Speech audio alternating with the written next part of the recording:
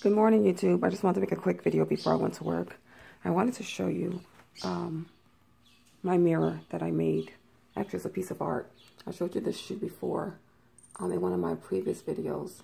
And I just wanted to make it pop. So I added a mirror behind it to make it big. I also um, want to show you my end tables. I'm not finished with them, but I wanted to let you see it before I finish them. I um, added these diamond knobs. I got them from Amazon. And these were plain brown dressers that I paint, had my husband paint silver. And I added these knobs to it. And that was the knob before.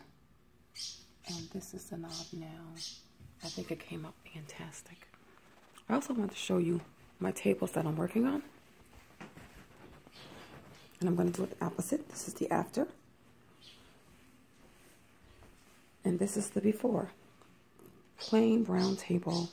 My husband already painted one, got it back in the room. And um, this is how it looks after he painted it with the high silver. And I also did the same thing for his end table and nightstand. Again, it was brown, painted high silver, and changed his knobs out. I think it came out fantastic. It's just paint. Have a great day, YouTube.